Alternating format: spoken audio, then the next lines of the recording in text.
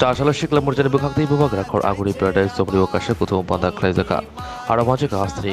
মন্ত্রী অগ্রা, professor doctor Manik Saha হাস্তি। পর্যায়ে বিজেপির কাজ করা যে ভট্টাচার্য শিকলা মর্যানি হাস্তি কাজ কো সুশান্ত দেব সালথাং ত্রিপুরা লোকসভা চুক্তানে বিজেপির বাতাই নাই। এবং হাস্তিনি গোজাম মন্ত্রী অগ্রা বিপ্লব কুমার দেব, শ্রীনং রামনগর বিধানসভানি বাই ইলেকশনও বিজেপি নিকে বাতাই নাই। আগরতলা পৌর নিগমের মেয়র দীপক মজুমদার। কুথুং বান্ধব কক্সর থাকে মন্ত্রীকরা প্রফেসর ডক্টর মানিক শাহ সাকা ইয়াকসে হামুনি জরব চংবারি ফাইকের হাস্তেও কেরিমা সিসা তংখর আসাই থাঙ্গো, কেরং রাইজারক মানিমারক নুজিয়া ফেবা তাবুরি হাবাং ফাইবরি উনো চংবারি জর অবহায় মংসা, পাতি মুরক নুগলিয়া। ত্রিপুরা হাস্তে দাবো কেরং রাইজানি বখাক্তই কাই নিশিচার হাস্তেনি বিশেষ উলথাম আসুক থাই তঙ্গো। উপদেব শাখা ত্রিনি পান্দাবো শিকলা মোর্চা সিমিসি তঙ্গো। তমং যত মোর্চা ফাইকে, কেবেনে বদল কামাই থাংবাই কামো। আসালা কক্সরা থেকে হাস্তেনি বাজারে তীব্র কক্সাবই খাদারিকা বরমগ্রাম মন্ত্রীকরা এর মধ্যে আমাদের পরে পরবর্তী সময়ে যখন আমাদের উপনির্বাচন হয় ধনপুর এবং আমাদের বক্সনগরে, সেখানেও আমরা জানি বক্সনগর জায়গায় সেখানে সব সময় আমরা দেখেছি এই কমিউনিস্টদের একটা ঘর ছিল সেখানে। কিন্তু সেখানে আমরা কি করলাম? সেখানে আমাদের মাইনরিটি সম্প্রদায়ের যারা ওখানে লোক সংখ্যা সবচেয়ে বেশি ছিল, অনেকে বলেছেন সেখানে আমরা জিতবো না। কিন্তু প্রধানমন্ত্রী নরেন্দ্র মোদীজির সবকা সাথ, সবকা বিকাশ আর বিশ্বাস। এই মন্ত্র নিয়ে যখন আমরা ওনাদের কাছে গেলাম, সেখানে ত্রিশ হাজারেরও ভোটে আমরা কিন্তু সেখানে জয়লাভ করলাম। শুধু তাই নয়, ওনাদের জামানত জব্দ করে দিয়েছে আমরা। যেখানে আমরা আমাদের আরেকটা কেন্দ্রে ধনপুরে গত ইলেকশনে আমরা মাত্র সাড়ে তিন হাজার ভোটে জিতেছি। সেখানে উপনির্বাচনে আমরা আঠারো হাজার ভোটে জিতেছি। এবং সেটা কি করে সম্ভব হলো? কারণ আমাদের যে নীতি, আমরা সবাই মানুষকে নিয়ে চলতে চাই। আমরা মারপিটে বিশ্বাস করি না।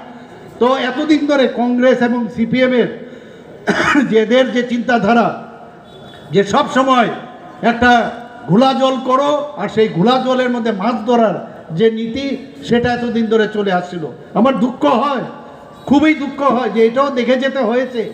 কালকে দেখলাম যে কমিউনিস্ট পার্টির সে জিতনবাবু কংগ্রেস ভবনে গিয়ে বসে আছেন। এর আগে সিপিএমের বন্ধুগণ গিয়ে সিপি, কংগ্রেসের বন্ধুগণ গিয়ে সিপিএমের অফিসে গিয়ে বসে আছে। সত্যি দুঃখ লাগে, এই জিনিসটা আমাদের দেখতে হয়েছে।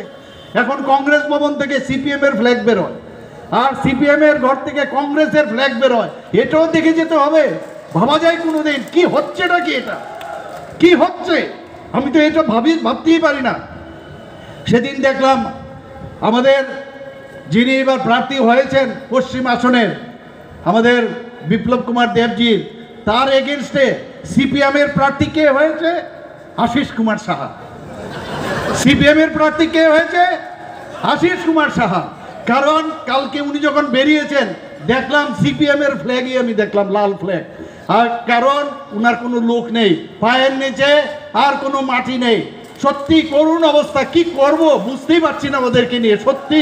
এটাও দেখে যেতে হয়েছে এই বয়সে। আমরা আমরা ঠিক সঠিক পথে আছি, ওরা বেটিক পথে আছে। ওরা বলছে ইন্ডিয়া, আইএনডিআইএ, ইন্ডিয়া। এত গেছে, এখন হচ্ছে ইন্ডি ইন্ডি, এয়ারলাইন্স তো শেষ। একজন তো জেলে চলে গেল কালকে দেখলাম। এরপরে কি হবে? একটা একটা করে সেই আয় অবধি চলে আসবে। যে আয়, আমি আছি, আর কেউ নেই। আমার তো মনে হচ্ছে ওই যে শোলের শোলের যে একটা, আপনারা জানি না এখানে আমার সব যুব ভাইয়েরা আছেন, ওনারা দেখেছেন কিনা শোলে যে সিনেমাটা? আসরানি বলছিল যে ওর কাছে খবর গেছে পিস্তল আ চুকা হয় এই খবর পেয়ে ও সমস্ত সমা- তার যে সেই জেলের সমস্ত সন্ত্রীরা নিয়ে চলে গেছে। বলছে হল্ট আধা ডাইনে, আধা বায়ে, আর বাকি মেরা সাথ হাও। তো ও পিছে তাকিয়ে দেখে ওর সাথে আর কেউ নেই। তো এদের অবস্থাটা হয়েছে এইরকম। এখন ওরা মাঝখানে বলছে যে, তিপ্রা মাথার সাথে আমরা কেন অ্যালায়েন্স করলাম?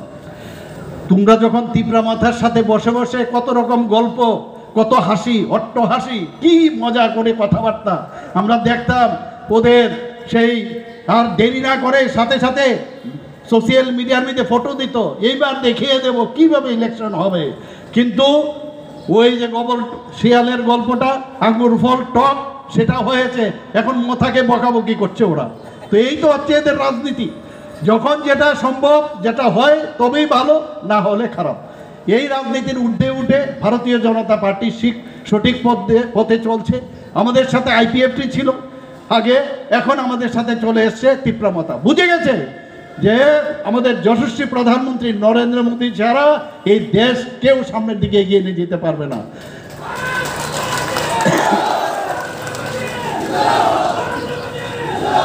বন্ধুগণ, খালি একটা দিন, একটা আপনারা চিন্তা করুন, একটা দিন আপনারা সেই দু হাজার চোদ্দোর আগে ভারতবর্ষের কি অবস্থাটা ছিল?